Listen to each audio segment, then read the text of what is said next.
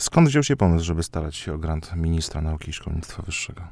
E, zaczęło się od, w sumie od początku, byłem dość mocno zaangażowany w koło mm, i nawet nie słyszałem nigdy o grancie, ale e, doktor Zadernowska wpadła na ten pomysł, że w sumie skoro są jakieś osiągnięcia, e, to moglibyśmy się postarać. No i opowiedz o tym temacie swoich e, badań też, z czego on wynika i w jaki sposób będzie realizowany. Próbowaliśmy ugryźć temat, żeby połączyć mój pierwszy stopień, e, czyli gastronomię, e, z tym, czym aktualnie się zajmujemy, czyli mikrobiologią. E, I stąd narodził się pomysł. Cały czas temat antybiotykooporności, zwłaszcza tej wielooporności, jest aktualny e, i dotyczy żywności. E, I chcieliśmy sprawdzić po prostu, po pierwsze, jakby zrobić bazę e, bakterii, nad którymi będziemy pracować, a następnie mm, sprawdzić, jak, jak te bakterie się zachowują i te mechanizmy pod wpływem e, stresów środowiskowych, które są e, obróbką po prostu gastronomiczną. Możesz przytoczyć i rozwinąć też temat tego projektu? To są trzy etapy. Mhm. Najpierw sprawdzamy jakość e, ryb dostępnych na polskim, ryb i owoców morza, bo to w tym przypadku moim są krewetki jeszcze. Jest to łosoś, e, pstrąg tęczowy i krewetki, świeże, dostępne na rynku i po prostu zobaczymy, jakie są jakości. E, ja się skupię tylko na, na trzech e, patogenach, to znaczy trzech na jednej grupie, na, po prostu na enterobakteriace, e, na listerii i na enterokokach. E, I to jest najdłuższy etap, bo on najprawdopodobniej będzie trwał około dwóch lat. E, I po prostu mając taką bazę, e, praktycznie niemożliwe jest nic nie znaleźć, znajdziemy coś na pewno. E, I po prostu z nimi będziemy pracować. Będziemy sprawdzać je genotypowo, fenotypowo, będziemy sprawdzać me- geny odpowiedzialne za wirulencję, czyli za tą umiejętność e, spowodowania choroby i to, jak to się zmienia e, pod wpływem obróbki. W moim przypadku to będzie vide, czyli gotowanie w niskiej temperaturze, zapakowane próżniowo e, i ceviche, czyli jakby surowa ryba, tylko mm, zamarynowana. Czemu te badania mają służyć? Jaki efekt chcesz osiągnąć? E, chcielibyśmy poznać e, mechanizmy, same w sobie mechanizmy e, oporności, tak jakby jak to jest, e, jak ryzykowne jest e, jedzenie, mm, jedzenie ewentualnie zakażonych, e, zakażonych potraw. Mówisz, Bo to e, są te obróbki ryzykowne. W takim sensie, że jeżeli będziemy coś piec przez 2-3 godziny, nie ma możliwości, żeby jakaś bakteria nam się zachowała żywa. Ewentualnie mogą być to toksyny, ale to nie, nie w moim przypadku, nie tych patogenów, którymi ja będę się zajmował. A kiedy mamy takie ryzykowne, ryzykowne potrawy, właśnie jak niska temperatura obróbki, e, czy ceviche, czy też może to być sashimi, czy sushi, to w pewnym stopniu jest ryzykowne. Jeżeli nie znamy pochodzenia, a nawet jeżeli znamy pochodzenie, zawsze istnieje ryzyko e, występowania patogenów. skończyłeś studia, jaki masz plan na e, swoją właśnie karierę naukową? O tym myślisz? E, no tak, e, zaczynam od października po prostu studia doktoranckie i mój przewód doktorski będzie tematem grantu, tak właściwie.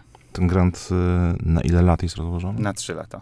Dwa lata to Mhm. jest e, zrobienie bazy mikroorganizmów, a rok, e, rok to będzie mm, analiza e, DNA i genów.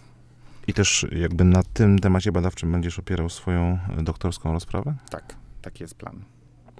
No dobrze, to powiedz jeszcze, jaka była droga do e, osiągnięcia tego e, momentu, w którym jesteś dziś, czyli otrzymania grantu ministra e, nauki i szkolnictwa wyższego. To pierwszy taki przypadek od czasu, kiedy on jest przyznawany w historii Uniwersytetu Warmińsko-Mazurskiego, więc też duże wyróżnienie i duża uwaga w twoją stronę jest skierowana w tej chwili. Jak to wyglądało? To się zaczęło trochę przez przypadek, bo na pierwszym roku po prostu miałem standardowe zajęcia z mikrobiologii, które są w planie. E, I to strasznie mi się spodobało i chciałem się w tym rozwinąć, dlatego zapisałem się do koła mikrobiologów żywności. E, I co roku, to jest dość specyficzne koło, jest bardzo mało członków. E, I po prostu każdy z nas ma jakiś swój pomysł na badanie, ewentualnie współpracą z opiekunem.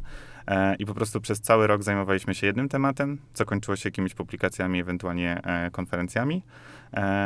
I tak jakby z, na początku nie, nie zakładałem ani doktoratu na pierwszym roku, e, ani jakby chciałem po prostu rozwinąć swoją wiedzę pod tym względem. A jeżeli to się, to wszystko się złożyło na to, że faktycznie te osiągnięcia są e, i ja jeszcze bardziej zainteresowałem się mikrobiologią, to chciałbym to kontynuować i jakby te, mm, studia, które wybrałem w języku angielskim też mi pomogły.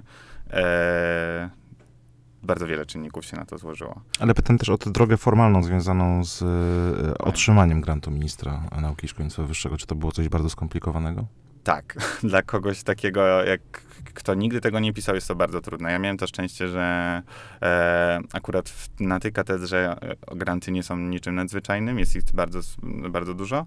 E, I też e, i mój opiekun naukowy grantu, i też e, mój e, promotor pracy magisterskiej, z którymi współpracuję od początku, one są tym doświadczone i gdyby nie one, tak naprawdę to by się nie udało, bo uważam, że napisanie czegoś takiego, rozpisanie też na co wymagane są pieniądze, na co trzeba mm, wydać pieniądze, to jest po prostu niemożliwe dla kogoś, kto w tym nie jest na co dzień.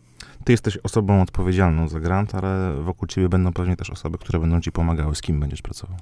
Z doktor, e, doktor i doktor Hajęcką Wierzchowską. One, e, mówię, odpracowałem z nimi od początku i tak ta, formalnie jest to tylko doktor Zadernowska, ale w praktyce będą one obie. I ja też nie jestem odpowiedzialny, właśnie tym różni się grant dementowy od zwykłego grantu, że ja jestem kierownikiem, ale nie jestem odpowiedzialny finansowo. Za to jest odpowiedzialny mój opiekun naukowy.